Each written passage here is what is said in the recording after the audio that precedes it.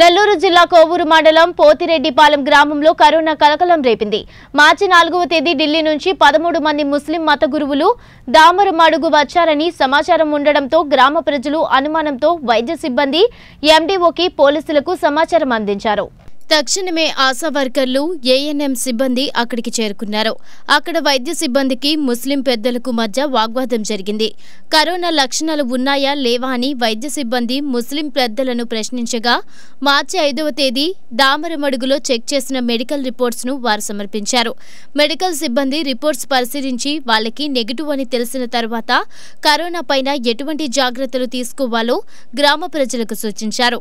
పద్నాలుగు రోజుల పాటు బయట తిరగవద్దు అని ఆదేశించారు. ఎండీఓ ఆశా వర్కర్లతో బ్లీచింగ్ స్ప్రే మసీదు ఆవరణలో కొట్టించారు.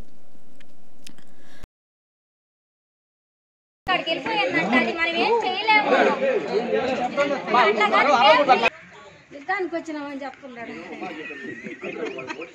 ఉదయం చెప్పా కదా నేను కూడా మీకు ఎటువంటి కోఆపరేషన్ చేస్తామా ఏం లేదని. నాలుగో తా- నాలుగో తేదీన ఫిబ్రవరి నాలుగో తేదీన వచ్చారు వాళ్ళు. ఫిబ్రవరి ఈ నెల. ఈ నెల. నాలుగో తేదీన వచ్చారు.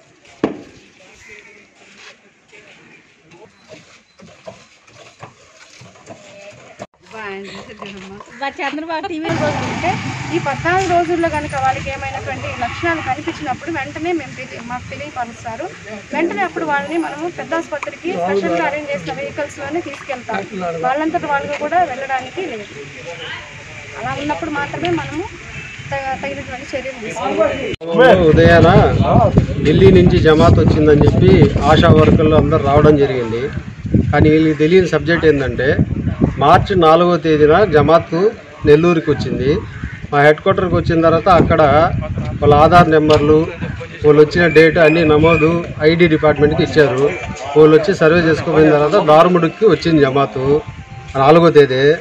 నాలుగో తేదీ నుంచి పన్నెండు రోజులు దారుముడుగులో పనిచేశారు ఎటువంటి ప్రాబ్లం లేదు వాళ్ళకి. దగ్గు కానీ జలుబు కానీ ఏం లేదు. చెకప్ కూడా అక్కడ చేశారు.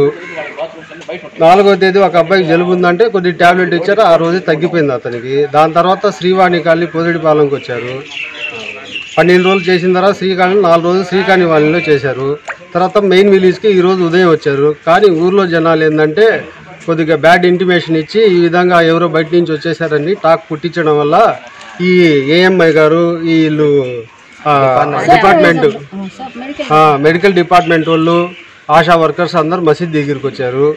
కానీ వాళ్ళందరినీ చూశారు. వాళ్ళు ఎటువంటి ప్రాబ్లం లేదు. ఈ- ఈ విధంగా వాళ్ళు సేఫ్టీగా పెట్టాలని కొన్ని ఇన్స్ట్రక్షన్స్ ఇచ్చారు. ఆ ఇన్స్ట్రక్షన్ మేము ఫాలో అయ్యేదానికి రెడీ ఉన్నాం. వాళ్ళుగా సేఫ్గా పెట్టున్నాం.